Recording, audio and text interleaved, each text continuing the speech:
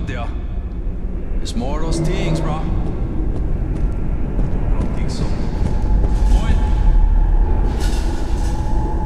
You keep all quiet, okay? I know how to talk to these mokes.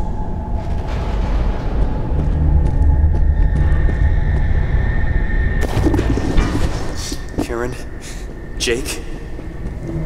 I don't know how long I They're okay, can bro. stay They're coherent. helping me get past these I dead can fuckers. feel the sickness inside of me. Where's Titus at? They say the first symptoms canteen, are a high fever, here, right? and man, I'm sweating.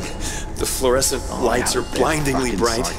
put Uh, we made it to the prison and thought we were safe, but the infection, it's everywhere.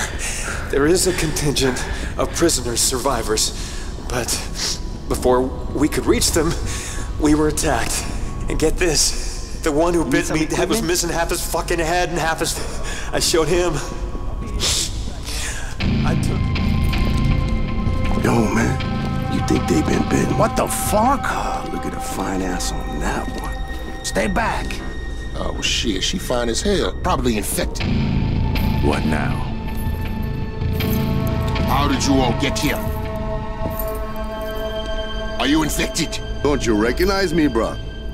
Maybe I do, maybe no. You recognize these.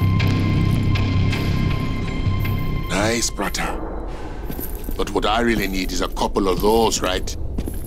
We got weapons way better than guns. These people are immune, man.